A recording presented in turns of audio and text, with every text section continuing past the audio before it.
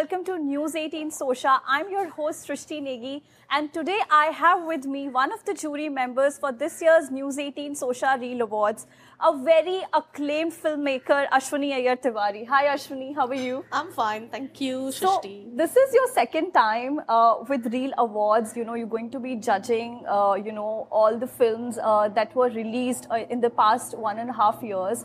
Uh, tell me how excited are you for this? I'm uh, pretty excited. I'm looking forward for the Reel Awards, is because uh, I do feel that uh, we are in an era where there are so many uh, filmmakers, storytellers, uh, and actors who are shining so bright in the OTT space, and it is very important that each one of us give them the credit and like you know like a award to to just encourage more and more talent to come on board and to we get to see their light. So i think it's very important for us to do that is because the more and more uh, you encourage uh, us as storytellers to uh, to enhance more creative people to come uh, and uh, uh, participate in the idea of storytelling it just makes a whole uh, like a ecosystem where it is just just not about a few people but a whole gamut of talented uh, actors directors who would uh, show their light Yeah. So, you know, this is for the very first time that, you know, Reel Awards will be uh, celebrating uh, cinema as well as web series together. And like we all know that, you know, you recently made your uh, directorial debut with this fabulous web series called Faadu. Uh, tell me, uh, you know, how was the experience of, you know, directing a web series for a very first time uh, for you, Ashwiny? again a lot of hard work Yes. uh, because it is just not about making one film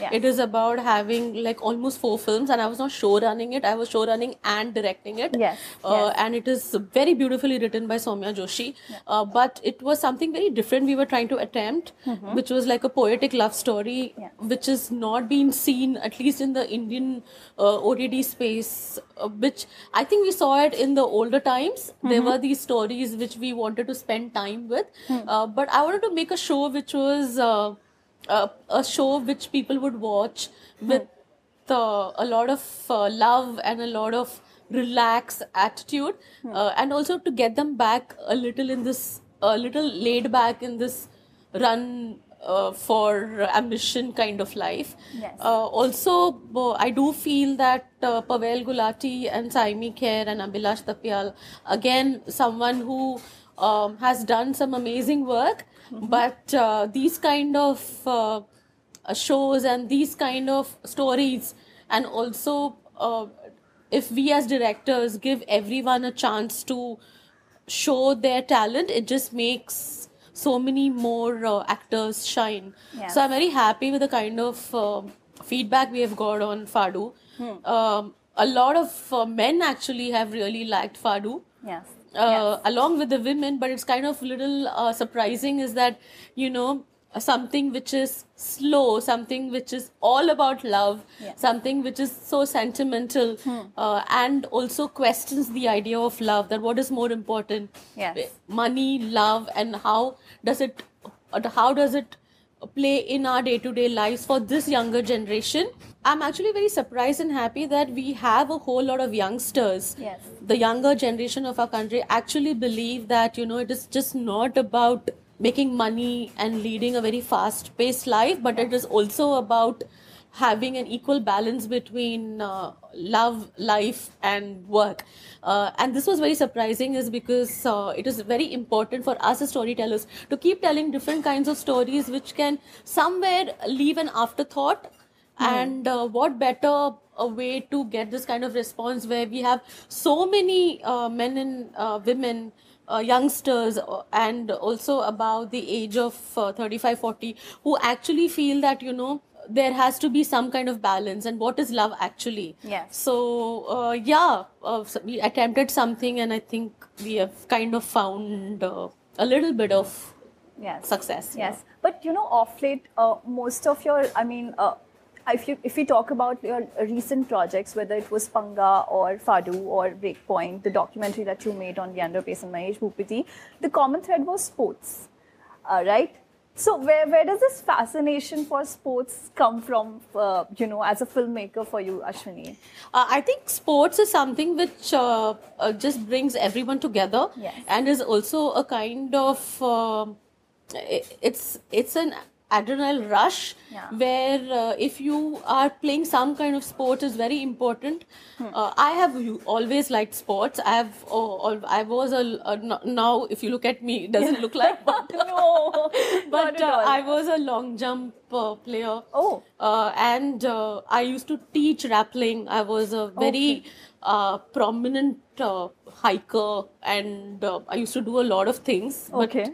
not anymore. And I do feel that that also um, right now it's very important that people come back to the idea of sports and Yes.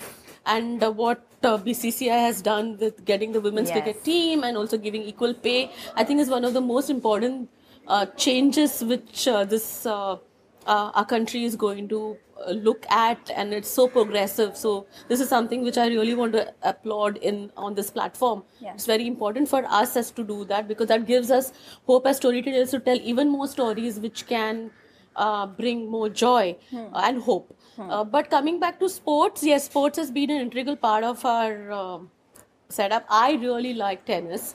Uh, Hmm. I'm a big fan of Roger Federer. I don't know how much I cried the day he said he's retiring. I know, I Uh, for me, that really, uh, he is someone whom I really look up to. Mm-hmm. Uh, and uh, uh, yeah, so tennis is something which I really like. And of course, uh, this was the first time Nitesh and me were co directing something.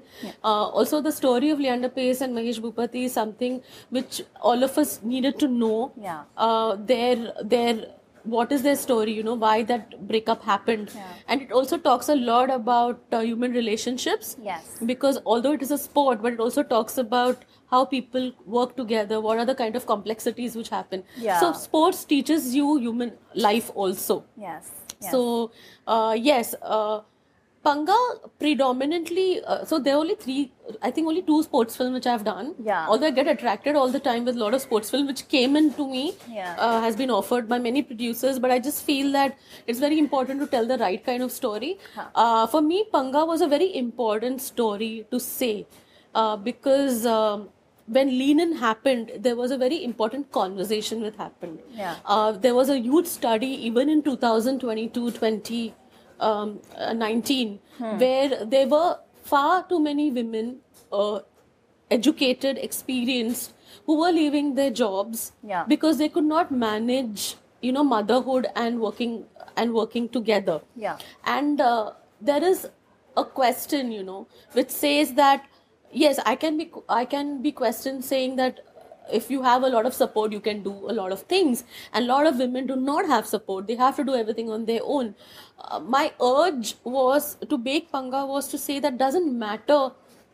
Even after becoming a mother, you have to follow your dreams and keep your identity intact. Yeah. Whether it is a sport or whether it is something else. And it is not about stepping out of the house, it is also inside the house you could do so much more. Uh, because I know so many friends of mine who have become mothers and, you know, start losing their identity, start feeling we all love our kids, but somewhere we start losing our identity. Uh, and uh, you know what uh, what is this what has happened to us suddenly because we all uh, seem to be uh, ambitious Yes. we all are educated our parents have given us good education Yes. and uh, somewhere down the lane when we know our responsibilities we also need to know um, to know how to uh, you know make up our minds as women to divide that space Yeah, yeah. and also sometimes think for ourselves Yeah. Than thinking for our whole family. Yes. that little bit of uh, awareness that little bit of balance. And also in the era of co-parenting in an era where there are where there are men and women the husband and wife who are equally working it just becomes a responsibility both of the man and the woman to take care of their child. Yeah. uh, it is just not the woman's responsibility to take care of a child. And i do feel that this generation of young uh, uh, young parents are taking that responsibility because the more we have men pushing women to follow their dreams we will have like a whole uh, ecosystem of having so many men and women equally in the boardroom. I think that is what is important. Yeah. That we have a equal representation inside the boardroom. Yes, absolutely. Because where, I mean, they are the real policy change makers. They're the, I mean, that's where exactly the decision happened, right? Yeah. So if women are there in position of power, then I think we can have those changes. Yes. Otherwise, so the more women leaders we have, Yeah. the more um,